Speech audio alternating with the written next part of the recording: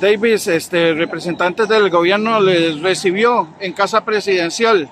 Eh, ¿Cuál es el resultado de esto? Sí, bueno, los compañeros que vinieron en representación de los trabajadores se reunieron con asesores del viceministro de la presidencia y el resultado es que se va a abrir un espacio para ver estos temas con alta jerarquía de la institución para revisar efectivamente cómo está ese tema de los contratos privados en la Caja Costarricense de Seguro Social.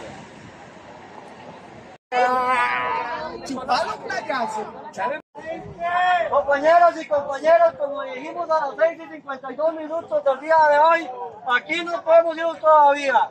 Es muy importante la unión del grupo.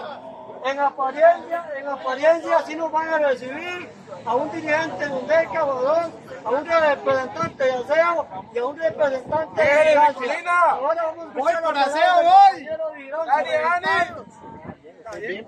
Acuerdo, la mayoría, compañeros, quieren marchar hasta la casa presidencial. ¿Es así, compañeros? Entonces, si nos vamos, compañeros, no se vale que se vayan adelante todos unidos porque no nos. Todos por la calle, todos unidos. Y hay que que se vayan desde llegar allá. Tenemos que llegar todos unidos allá si vamos a ir. Vamos a llegar tres gatos, no nos vamos a volver a ver. Allá, todos unidos, ¿sí, compañeros?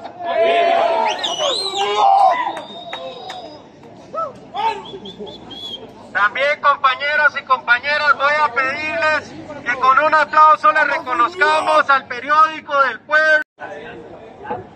Arturo, ¿a qué se debe esta eh, manifestación de los trabajadores del Calderón el día de hoy? Bueno, esto se debe a que UNDECA a través de hace tiempo hemos denunciado que, que hay- quieren meter una privatización aquí a la Torre Este.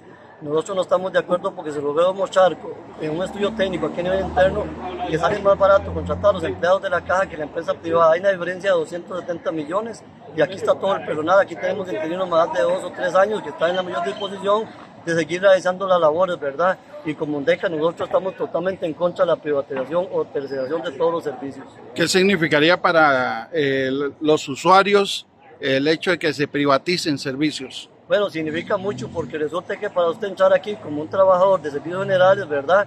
Ocupa que le hagan las pruebas de ley. Si la, a la empresa privada no le realizan las pruebas de ley.